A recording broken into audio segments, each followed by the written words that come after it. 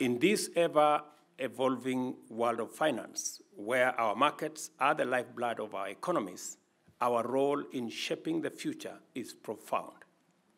The Africa capital markets, as a collective entity, play a vital role in fostering economic growth, development, and regional integration. I wish to take this opportunity to reflect on some key themes that are of paramount importance in the realm of capital markets, particularly in the context of our continent.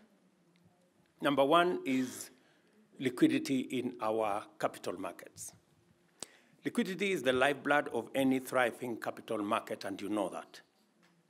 It ensures that our investors have the confidence and flexibility to buy and sell securities with ease. It is essential for the efficient allocation of capital, which in turn drives economic growth.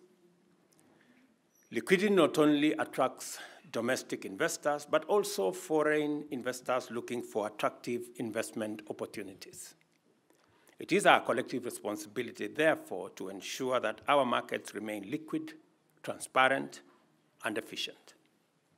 The trends we see in today's capital markets indicate a growing demand for improved liquidity driven by innovative trading platforms, more accessible market information, and the entrance of retail investors into the arena.